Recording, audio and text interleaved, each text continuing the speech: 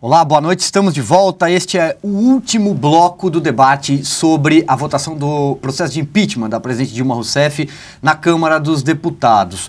Reinaldo, Augusto, Sete, eu vou pedir as considerações finais de vocês, mas antes vamos dar uma olhadinha em como está o placar da votação, porque a votação continua. Olha lá. Imagens agora do plenário da Câmara dos Deputados. Opa. 354 votos a favor do processo de impeachment e quem vai votar ah, é o Silvio Costa. Faltam 23 para Esse, esse vai ser um discurso. Esse deputado vai ser caçado por, por quebra do decoro parlamentar. A maior herança. Ele chorou agora há pouco. Que um homem pode deixar para os seus filhos os seus netos, os seus bisnetos. É a sua honra. Aos 10 segundos. A sua integridade, o seu caráter. Hoje. Você é um cara patético, esse deputado. Pela segunda vez, uma parcela da elite brasileira. Uma parcela da elite brasileira, dois terços do Dois terços do plenário. Meu Deus do céu, Renato, onde é que nós estamos? A parcela da elite brasileira está uma torturando par... a presidente Dilma. Uma parcela da elite brasileira. Torturando. Hoje é um dia que não deveria existir. Hoje é um dia onde no futuro onde, a no história futuro? vai contar que Essa a frase ficou muito bem é construída. E o não é a palavra mais bonita da língua portuguesa. Muito bem, bom, vamos lá então. Reinaldo Azevedo, suas considerações finais sobre esse dia histórico. Olha, eu acho que a, a sociedade brasileira, ou a, uma boa parcela dela, disse um não à empulhação, disse um não aos métodos criminosos de, de, de gestão, é, disse um não à, à empulhação e às mentiras contadas pelo PT sobre si mesmo e sobre os outros. Né? É, esse é um momento importante porque este partido carrega uma certa mística de falar em nome do povo, de falar em nome dos mais pobres, de falar em nome dos deserdados, como muitos deles disseram ali, em nome das minorias. Não é isso não. Esse partido só está encontrando dificuldade agora porque se meteu a fazer sujeira com empreiteiras, porque se ligou à pior elite, aí sim, a pior elite, a mais uh, predadora das elites uh, que se conhece no mundo. E é por isso que o PT está nessa dificuldade. É por isso que o PT está assim. Uh, vai ser fácil o que vem pela frente? Não vai ser fácil. Eu chamo atenção para o seguinte: ninguém está elegendo Temer, não tem eleição para Temer. O Temer já está eleito, está eleito vice. Ele foi eleito vice. O Temer vai assumir a presidência, caso o Senado dê continuidade ao processo. O Temer vai assumir a presidência porque essa é a ordem constitucional. É isso que demanda a Constituição. Fim de conversa, não é? Ah, se se ficar provado que, ah, mas o Temer também, cai também, e nós vamos seguir a Constituição, vamos aplicar a Constituição. O PT agora fala em novas eleições, é uma coisa absolutamente ridícula, sem sentido está prometendo que vai recorrer ao Supremo. Quem recorra tem o direito de recorrer. Eu duvido que dê certo, porque o argumento no Supremo vai ser que a presidente não cometeu crime nenhum, não cometeu. Isso resta evidente. Né? O crime de responsabilidade está cometido. Então não creio que o Supremo, salvo um espírito de porco ou outro, vá querer se meter nessa seara. Né? O Brasil está mais uma vez, aí sim, dando um bom exemplo. Há 24 anos foi deposto um presidente, assumiu o vice e o Brasil melhorou. Né? Hoje Infelizmente, infelizmente, porque o normal seria que, uh, o ideal seria que as coisas não acontecessem assim. Aconteceram, a presidente muito provavelmente será deposta, em seu lugar vai assumir o vice-presidente da República, e isso vai se acontecer da forma mais democrática, mais transparente, em paz. Se não houver paz nas ruas, certamente não serão aqueles que querem o impeachment que vão provocar confusão. Serão as esquerdas. Elas já deixaram claro que não aceitam o resultado. E aí, então, é preciso ver e usar contra elas a Constituição, se for necessário. Não é? Certas é, esquerdas, né? Você não pode... É, não, não conheço nenhuma esquerda que não tenha dito não né, a, a, a, ao, Ah, o PPS é de esquerda. É, hoje, mais ou menos, né? Os partidos todos de esquerda no Brasil fecharam com a Dilma. Né? E estão dizendo que não vão aceitar o resultado. Né? O que é não aceitar o resultado? Não sei. Que, que é não aceitar? Vão parar, vão parar as ruas, vão ocupar prédios públicos, vão invadir propriedades, como eles prometeram? Hã? Bom, para isso, a Constituição oferece remédios. Então, o que eu estou dizendo é o seguinte: o Brasil que está aí hoje escolheu ficar com a Constituição. Esse impeachment, essa primeira fase do impeachment, que se conclui hoje, nasceu da vontade das ruas, não nasceu nem mesmo da vontade dos partidos políticos. Tem um Brasil novo que está mostrando a cara, que está se organizando, que está começando a, a dialogar com partidos, levando uma percepção nova, uma demanda nova, oxigenando inclusive a oposição.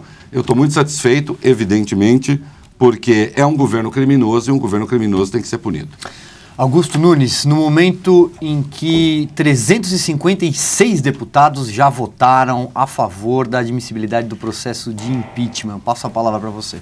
Bom, eu voto com o relator, Reinaldo Azevedo, acho, concordo com tudo que ele disse, é o seguinte, ah, seguiu-se até agora o que determina a Constituição, é o que deve continuar a ser feito. Se eles estão querendo dizer, os perdedores aí, estão querendo dizer que a luta é o que? Luta armada, luta. Para isso, existe a Constituição, que diz quem detém o monopólio da força, Isso. a que instituição cabe manter a ordem pública, etc, etc. Não há problema. Agora, se o PT acha que ainda mete medo em alguém, se o Lula acha que as suas, as suas bravatas intimidam alguém, ele realmente é, só vai confirmar com essa atitude que ele ignora o país que surgiu das cinzas do lulopetismo. É isso que está acontecendo. O Brasil celebra hoje o fim da era da canalice. Certas coisas não voltam mais.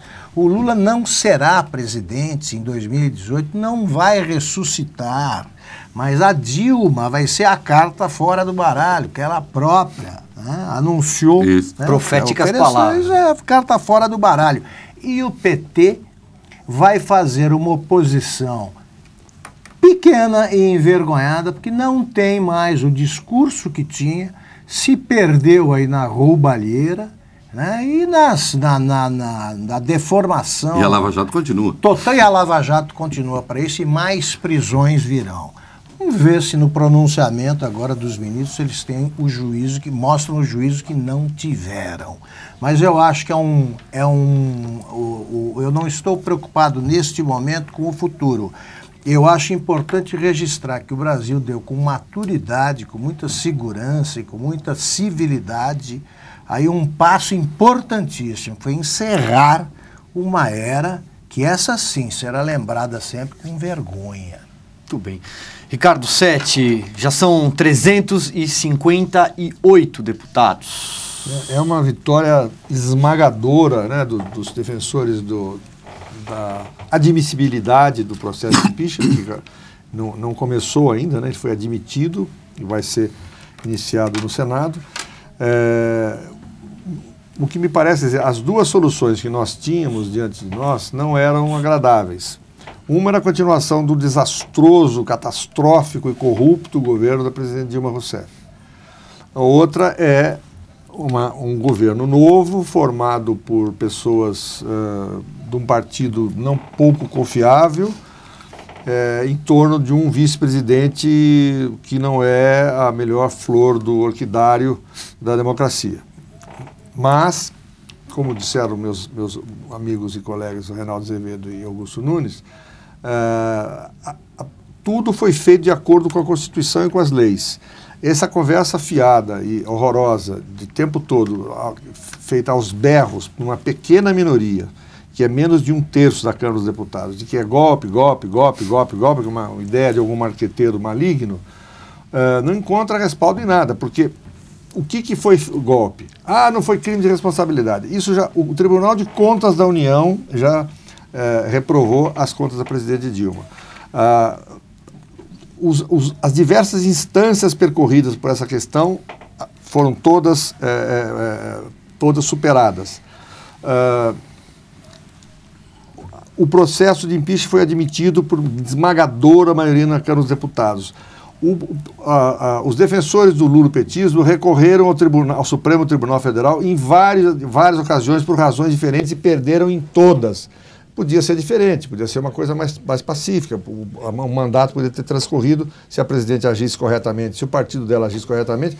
É traumático a saída do presidente, evidentemente é traumático. As interrogações sobre o futuro são, não são poucas. Muito mais não, é a melhor, não é a melhor coisa do mundo. Mas tudo foi feito de acordo com a Constituição e com as leis, referendado pelos representantes do povo e, pelo, e, é, é, com o respaldo do Supremo Tribunal Federal, sendo que as, acusações, que as diversas ah, as diversas questões, é, não, não, há um fiapo de golpe é, do ponto de vista legal e constitucional, conforme alega essa, alega essa gente. E, e a, essa ameaça de que vai haver luta, vai haver luta, é sim, aí sim. É, isso sim está fora da lei da Constituição. Isso sim é baderna, entendeu? É, é, é então, não, não estou feliz com com o, estado que o país chegou, mas estou sim feliz pelo fim de uma era de gente totalitária, liberticida, que pretendia calar a boca da imprensa, que pretendia calar a boca da oposição, que pretendia tolerar as liberdades públicas, que estabeleceu uma política externa horrorosa e vexatória de aliança com países párias na comunidade internacional, é, e, e, que mentiu, que enganou o povo, que assaltou os cofres públicos e, e, e agora, por menos que seja uh, menos que seja um cenário maravilhoso esse novo governo, abre-se sim uma nova era é, com alguma esperança de, de, de, mudança, inclusive pela participação do povo nas ruas, que, a meu ver, voltará às ruas caso o novo presidente Michel Temer é, fuja daquele mínimo que ele precisa fazer para pacificar o Brasil e botar o Brasil num caminho melhor do que ele se encontra. Muito bem, eu queria agradecer a presença de vocês. Obrigado, Reinaldo Azevedo. Eu sei que fez um périplo hoje, hoje né? Rádio, é, televisão, jornal e veio para cá para fechar a noite desse dia histórico na nossa bancada. Obrigado. Obrigado. Obrigado, Augusto Nunes. Obrigado, Ricardo Sete, que estiveram aqui Obrigado. comigo durante você, horas de transmissão em TV já. Ah, foi muito legal. Obrigado. Lembrando que a edição, uma nova edição de Veja chegará à sua casa e estará disponível nas bancas, editada hoje. Muito obrigado pela sua companhia, uma ótima semana para você e até mais.